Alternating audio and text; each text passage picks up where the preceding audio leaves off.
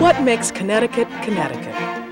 What traditions and accomplishments define our extraordinary heritage and still shape our lives today? This is our story. Long before Europeans settled the fertile valley of the Connecticut River, Native Americans inhabited the land for nearly 10,000 years.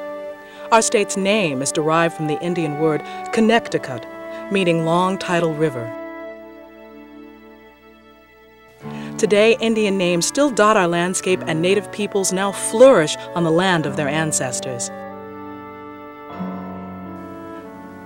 Connecticut's 169 towns are fiercely independent, a legacy of the English Puritans who came from Massachusetts in the 1630s to settle the river towns of Hartford, Windsor, and Wethersfield. Persecuted for their religious and social beliefs in England, the Puritans sought to create a Bible commonwealth in Connecticut that would protect their religious views. Today, their churches still grace our village greens, and their passion for community still lives in the civic spirit and vigorous politics of our towns. These early colonists believed strongly in the ideals of self government in 1639, they drew up the Fundamental Orders, the world's first document setting out the rules, articles, and agreements by which a community would govern itself. 23 years later, the Royal Charter of 1662 guaranteed self-government for Connecticut and made it a special place. Unlike the other colonies, Connecticut could now elect its own leaders without interference from the king. We have always treasured our tradition of self-government. Legend has it that in 1687, when James II sent a representative to Hartford to take control of Connecticut's government and take possession of its charter, the document was safely hidden in a hollow tree. Now part of our folklore as the famous Charter Oak.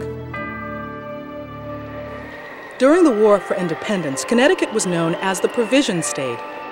We supplied beef to Washington's troops at Valley Forge and sent over 3,600 militiamen to join General Warren's Patriot Army fighting the British in the Battle of Bunker Hill. A remarkable commitment to education and learning is an important part of our heritage. The Puritans insisted that every member of society is able to read and write, and in the mid 17th century, Connecticut was considered the most literate place on the earth. In the 19th century, under the leadership of Henry Barnard, Connecticut's common schools were the envy of the nation. The extraordinary array of public and independent schools and universities that still dot our landscape have deep roots in our past. The Wadsworth Atheneum in Hartford, the nation's first municipal museum, built in 1842, symbolizes our age-old commitment to cultivating and preserving our culture. Just up the road from the Atheneum at Nook Farm, a remarkable literary colony grew up in the mid 1800s. Mark Twain gave the nation Huckleberry Finn, Tom Sawyer, and a Connecticut Yankee in King Arthur's court, while his neighbor, Harriet Beecher Stowe, wrote the powerful anti slavery novel Uncle Tom's Cabin.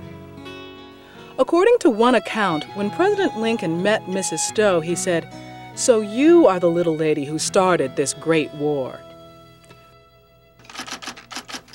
Connecticut has always been a haven for writers and artists and is still home to many well-known authors. Our most popular nickname, the land of steady habits, is well earned, but Connecticut has always had a strong tradition of political activism and reform. Over 100 years before the Civil Rights Movement, James Mars, a freed slave, petitioned the Connecticut General Assembly to give blacks the right to vote.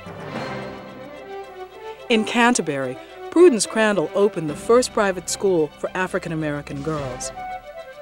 Our past is filled with remarkable figures whose commitment to equal rights for women at last brought women the vote in 1919.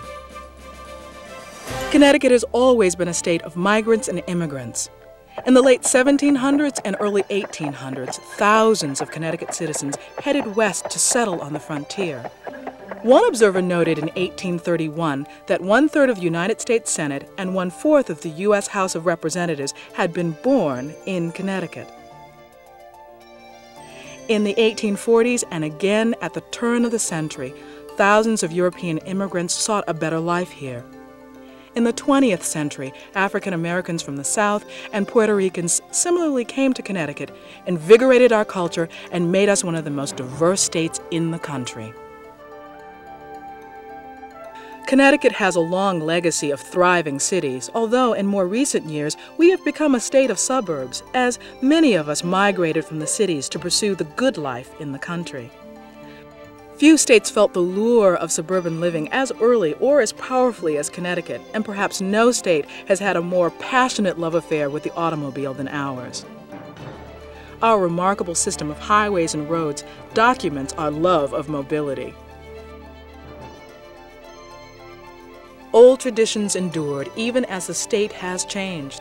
Connecticut, a small state with a rich and extraordinary heritage. Connecticut, the Constitution State, the Nutmeg State, the land of steady habits. This is where we've come from. This is who we are.